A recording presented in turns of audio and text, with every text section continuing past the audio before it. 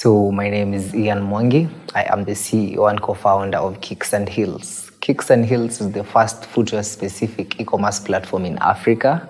We pride ourselves in being the first, the actual very first. Apart from that, I'm, st- I'm also a student at JKUAT. I'm in my third year, going to my fourth come September. Um so myself, I, I, I like to think of myself as an innovative. I like to challenge the status quo. I love changing the normal things. You see, because with Kicks and Heels, for instance, what happened? I the story rings back to last year, April. yeah? So what happened? I I was up country in Murang'a. So it was my grandfather's burial. So I, I, I wanted to buy some pair of shoes. From Murang'a, it's very difficult to acquire shoes. So I was like, hmm, so what do I do? Do I go to Murang'a town to look for shoes? I went. Nikakosa kiatu kabisa. So I just decided, you know what, let me just try from these online sellers. So I texted a friend of mine anitumie number ya wanaitangwa WhatsApp plugs. Eh? So the guy sent me a number of a guy called Chege. So I asked for photos. Akanitumia a whole 300, and- I- I- a whole folder of photos. So I was like, this is so tedious and it's so difficult to choose shoes from. So that is where that is the that is where Kicks and Heels was born. So I just decided to myself because I'm a developer myself, I'm a programmer. I I, I love coding. I, it's my passion. Huh? So I decided let me just do this. Huh? Let me partner up with a friend of mine who's also a developer. We work on an application. So we sat down together. Uh, we decided to develop it. So we worked on the prototype and everything. We released the company. We, we, we now launched the application all the way in November. November 1st, actually. So we started routing uh, the marketing. We, we partnered with, the, with stores in Nairobi. We partnered with, with, with these people import shoes with people from Eastleigh and everything. Now we created a whole mega platform where we have close to 1,300 shoes. So that is what I do. That is that is my why. That is what gives me purpose each and every day. So let me let me let me take you back to where my journey started. So I remember when I was in Form Two. I was in Form Two. I I, I was uh, I was I was not the kind of guy who I, I am not I was not this kind of guy. I was our own. I, I used to do drugs. I I used to steal. I used to be very defiant in school. So I remember there was a time we were planning a strike back in Form Two. So what happened? Uh, tukaitiwa board board of members. So they came to school and they started talking to us. I remember a guy by the name Maina Azimio still a good friend of mine till date and a very important pillar in my life and in my entrepreneurial journey. So what this guy did, um, he said one thing. He took his phone like this and uh, did this to us. You see, this phone, the age we are in right now, it will run the world. So I was like, what, is, what has this guy said? Phones will run the world. So I was not even conversant with IT. I was not conversant with applications, websites, and everything. So I just said to myself, okay, you know what? Let me just meet this guy after this. Eh? We get to talk and we see, I, I, I get to see what, what, what the guy meant by that. So after the, the, the, the parade, what we did, eh? I, I, I took up a friend of mine called Gitau, Gitau Mbugwa. So we went to the staff room. I told this guy, eh? um, mine Azimio, I, can I have your business card? Uh, actually, I did not even ask for the business card. I, just, I, I asked him for his contact. So akaniambia, ah, what's your name? I told him I'm Mwangi. I'm in Form Two. I loved what you, I loved how you presented yourself, and he was he, he was he was pretty wealthy. He's a, he's a pretty wealthy man. So I was like, what do you do for a living? He told me I'm in tech. I invest in companies. I have I'm an investor. So I was like, hmm, an investor. What does an investor do? So I went and did my homework later on. So the guy gave me his business. That's the first, my first encounter with a business card. I didn't even know how things happen in business. Eh? So he gave me the card. I was like, this is smart. This is how people operate. Huh? This is so classy. You know, we umezoea shika number ni flash. Huh? So he gave me the business card, so I kept it. When we went for holiday, I called him. We started talking. He started mentoring me. So I was like, this is the space I want to be in. And uh, that that really changed my life completely. So from that day, what I started doing, I, I bought a book, a small book. Each and every page, I used to write a new idea. Since Form Two, a new idea every single day, all the way to Form Four. And that book is my guiding light eh, because my dream as a person, I want to open 40 companies before I reach 40. So I was like, all those all those ideas I have in those in my book. Funny thing, let me let me give you a, funny thing. Eh? You see, Elon Musk. There's a company Elon Musk has. It's called uh, Solar City. I used to have that idea, or that was my second idea, to build solar solar roofing. You see, instead of iron sheet, eh, you you install solar panels inside the, the, the roofing material, and you install it in houses, and people can have, can have free electricity. I was like, if Elon Musk can think the way I did, there's no big difference between me and him. You see, that is one thing I came to really appreciate. So that has been my journey, my life journey in a nutshell. So if I was asked, is it wise to take up the entrepreneurial journey? I think entrepreneurship is difficult. It is really difficult, one. If I was asked, is it worth it? I will say definitely worth it. Let me first start with the why.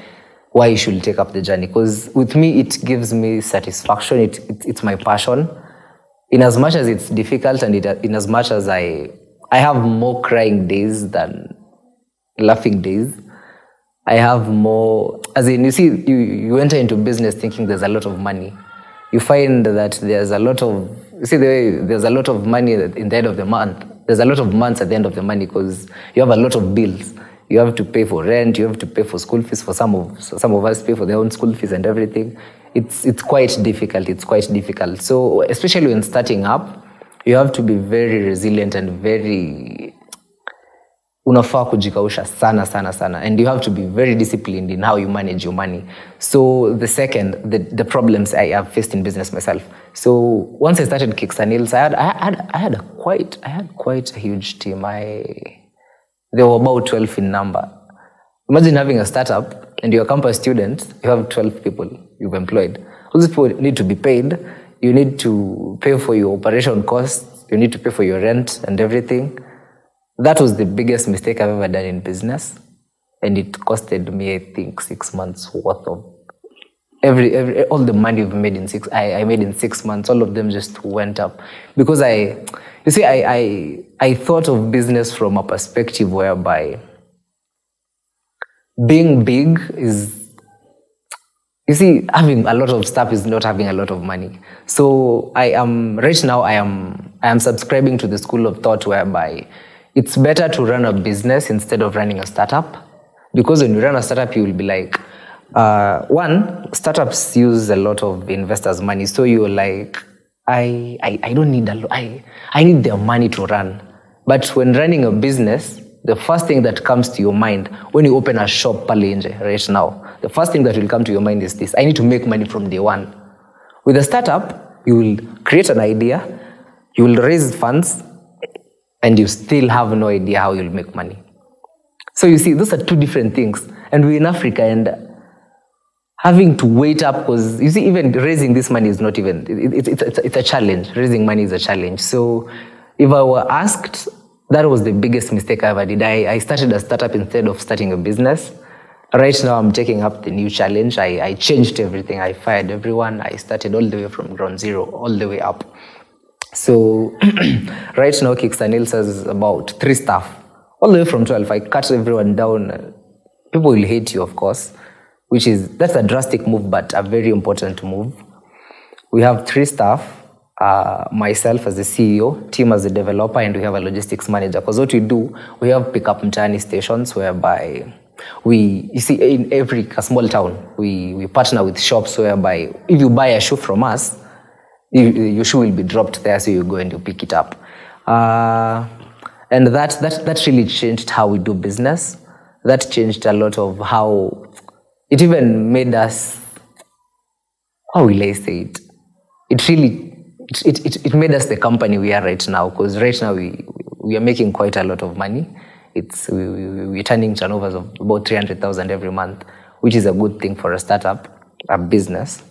In my interactions with a lot of entrepreneurs and a lot of my friends, and also the I mentor, there's a question that I was asked where I get where I got my money because Heels has a valuation of about three million as, as we talk, three million Kenya shillings. So I started with 1.4 million. So the question I was asked, where did you get the 1.4 million? Because I was just straight up from campus. So I will take you back to, you see, I, I, I told you about a book I wrote of a lot of ideas. Eh? So what happened, in that book I had an idea called DT. So what we do, what, DT is about, it's about selling Africa abroad. Because there's a concept whereby, you see, I have a t-shirt called Hakuna Matata. Right? This, this, is a, this is a slang in Africa. And when you sell it, okay, in Africa, we don't even really appreciate Hakuna Matata. But in the US, it's, this is huge. Hakuna Matata is huge. Lion King have used it. Have even, those guys have even patented the, it's copywriting it. Yes, they've trademarked the name Hakuna Matata. You can't use it in any other movie. Because so I was like, that is from Africa, and the, these guys are getting a lot of money from it. Eh? So what I did, I opened my own fashion line. It's called Afrimall. So I, I have friends in the US. So what we did, we partnered with them. We opened a physical shop in the US. So I, I, I took I took a small package of about five thousand with these wristbands, head wraps. I sent my first shipment. So it was about five thousand. I remember that day. I went to Kariokor. I bought them for three thousand. Then I was like, I went to DHL. So when I went to DHL, I, these guys told me it's five thousand to send something less than zero point five kgs. I was like, it's not even a single kg. It's a lot of money. So I went to Kenya KQ to Posta Kenya. So I gave them my package. They told me it's 2K. So I was like, that's fair. But now that is where everything happened. See, I, I gave them, I didn't know, you see, there's value for money. So I gave them my 2K to send the package. So it was en route. That package spent, I think, a whole one and a half months en route. And it, in normal occasions, it's supposed to spend about three to five days to reach the US. So that's the first first setback I had in the business. But once it got there, because my guy was studying in the guy was staying in Missouri. There's a school called Winona State University. So when he got the package, he sold it. Then we reinvested that money again. Because the good thing with America, uh, with, the, with leveraging the Kenya shilling and the US dollar, profit margins were about 300 to 3,000 percent per product, which is unreal. So we he sent the money back. So I, I, I bought another shipment again. We sent it. Then I took up a small loan of about forty thousand. We made another. Uh, now now we, we did the clothes, huh? the apparel, Hakuna Matata, done, done in Africa, and we sent them. So that chain reaction, huh? sending he's he's selling on the other side, I'm making on this side. That's how I raised my money for kicks and heels and from that Kajani, that, that happened all before Kicks and Heels came to life. And the, the story is still there. And I, I really, I really, I really, I really think that is what, that is that, because you see, one thing I came to realize with business, you need money. You, you need money to create money. And there's another thing I came to learn. Making your first million is the hardest but from making 1 million to making your second million is as easy as this. Because let me give you an example. Huh? You buy shares. Huh? Shares worth a billion, right? Shares worth a, bil- worth a billion of Safaricom. Safaricom, when I bought, I have, I have a few shares in Safaricom. When I bought them, they were 27. Then there was a time late, not actually, uh, late this year, there was a time it was all the way to 44. So that's that's a that's a difference of about 20 shillings for each share, right? Say you have 100 shares. 100 shares, how much money is that? Because you see, making your first million is that is the hardest. Because me telling you you need to sell these phones still you make a million, that is difficult. But if you import phones worth one million, it is so easy for you to make another million. You see, so that is the only thing I can advise people to really be vigilant on and persist a lot until you make that first that first big break. Let me just call it a big break. Till you make that first big break. Because once you have money in your pocket now utapata doing these things will be easier. So that, that that's how i came to raise up money for kicks and heels and uh, So if I was asked the future of Kicks and Heels, what I want for my company, I would want us to have shoe stores in Nairobi.